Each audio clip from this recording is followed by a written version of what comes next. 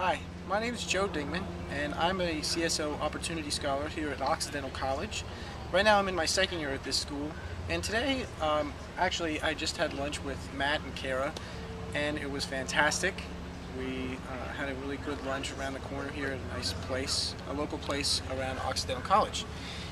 And I guess what I'm going to talk about today is finding a school that fits you. I was describing to them my experience here, and it's been overwhelmingly positive. This school has really done a great job at accepting, you know, me, and very much meeting my expectations. So I think what's important about your school search is thinking about expectations and thinking about assumptions.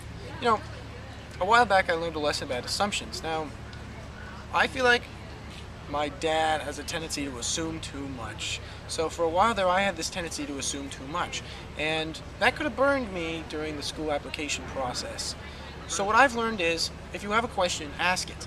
Occidental's admissions office was kind every single time that I called. They were patient and they answered the questions that I had that otherwise somebody else could have answered. And other schools might have been resentful about it, you know? If you find a school that has genuinely kind people working at it, that might mean something. And I think it means something at Oxy. And I think what's important for me about a school is, you know, the, the campus has to be people who care. Oxy is one of those schools where people care.